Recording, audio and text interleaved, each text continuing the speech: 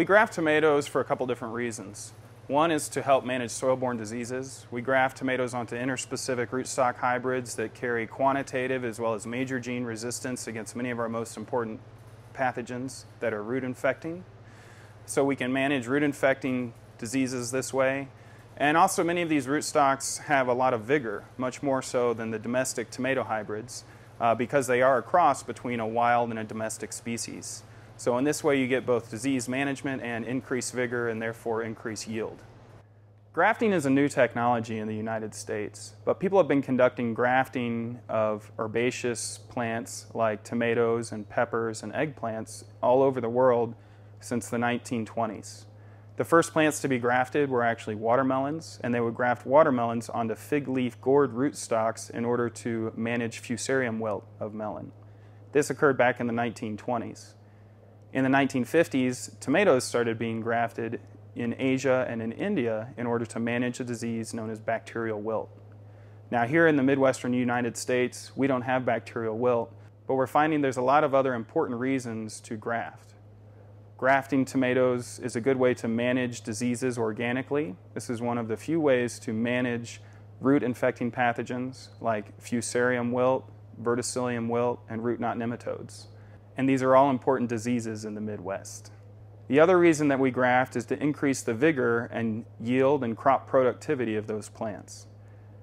Keep in mind that we're grafting our plants with interspecific hybrid rootstocks. So what that means is it's actually a cross between a wild tomato and a domestic species. Now what these wild tomatoes bring in is not only disease resistance, but also increased vigor. And it's very easy to tell a grafted plant from a non grafted plant just by observing the vigor and the growth of the plants. So many of our growers have adopted this technology not only to increase yield, but also to manage disease and therefore reduce risk in their growing systems. In particular, high tunnel growers really find grafting to be very useful. In high tunnels, we have limited crop rotations, and many high tunnel growers have issues with soil borne diseases. You can also utilize these resistant rootstocks in order to manage the diseases preventatively in high tunnels. By using a resistant rootstock, you can therefore reduce the chances of having infested soils later on. The other thing to keep in mind is that many of our high tunnel growers are utilizing specialty cultivars like heirlooms and often cater to farmers markets and direct sales. Now, heirloom tomatoes have very little disease resistance to them, and so they partner well with our interspecific hybrid rootstocks, which bring a lot of disease resistance along. The other thing that's nice about heirlooms is they bring a pretty healthy revenue at the farmer's market, making this process more economically feasible. Overall, the grafting process is pretty simple and can be adopted pretty easily by folks with some experience in plant propagation. A couple things I'd recommend if it's your first batch don't forget that those plants can heat up very quickly in that healing chamber, and so you want to work hard to take steps to prevent it from heating up by putting it in the right location, and then also checking on the plants quite often during the course of the day. Along those same lines, it's really important to keep a close eye on the plants, not only during the grafting process and in the healing chamber, but also leading up to the day of grafting.